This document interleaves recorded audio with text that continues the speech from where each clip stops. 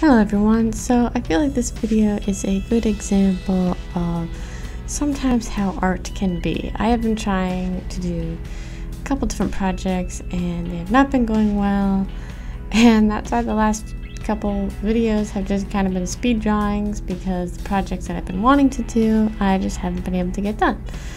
And I think this is just a good example of how sometimes with art or when you're trying to create things, you know, you keep trying and you're kind of learning as you go along. So there's struggles and it doesn't always work out the way you want or it doesn't always, you know, come out in the time that you want. So this is just an encouragement to just keep pursuing, keep trying, don't give up.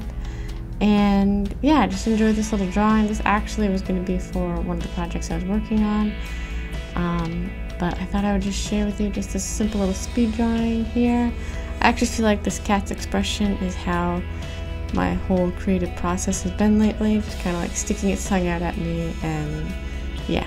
So just want to encourage you all, whatever you're doing, you know, keep trying, keep getting back up. Yeah, don't give up and just a little encouragement for you all. So I know that this was a shorter video, but I hope you have some longer videos coming out with some different projects. And I hope you're having a great day. Hope you enjoyed this video. Thank you all for watching, and I will see y'all next time. Bye!